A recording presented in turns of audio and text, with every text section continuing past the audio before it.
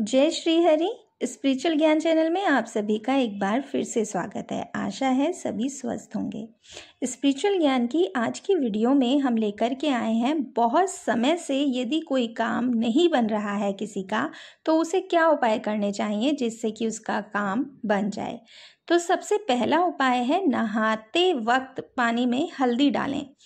तो अगर आपका लक साथ नहीं दे रहा है तो आप रोज़ाना सुबह पानी में चुटकी भर हल्दी मिला करके स्नान कीजिए। इससे श्री हरि और बृहस्पति देव की कृपा आप पर बनी रहेगी, जिससे आपका भाग्योदय होगा। अगर आप शाम को नहा रहे हैं तो पानी में चुटकी भर नमक मिला लें। इससे सारी नकारात्मकता दूर हो जाएगी। दूसरा उपाय है हनुमान जी की पूजा करें। यदि आपके जीवन में लगातार धन संबंधी या अन्य परेशानियाँ बनी हुई हैं तो पंचमुखी हनुमान जी की आराधना आपके लिए शुभ रहेगी। इसलिए हर मंगलवार को किसी मंदिर में जाकर पंचमुखी हनुमान जी के सामने दीपक जलाकर हनुमान चालीसा का पाठ करें।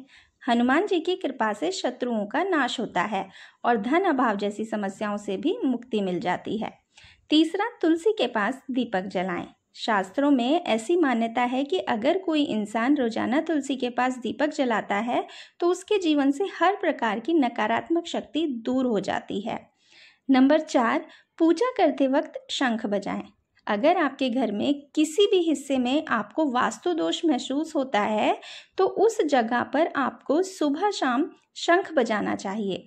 यदि घर में शंख ना हो तो आप जिस घंटी से पूजा करते हैं, उस घंटी को भी बजा सकते हैं।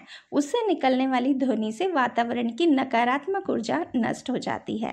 कैसी लगी जानकारी कमेंट सेक्शन में बताएँ। इसी तरह की और वीडियोस के लिए चैनल को सब्सक्राइब करना ना भूलें। Thanks for watching.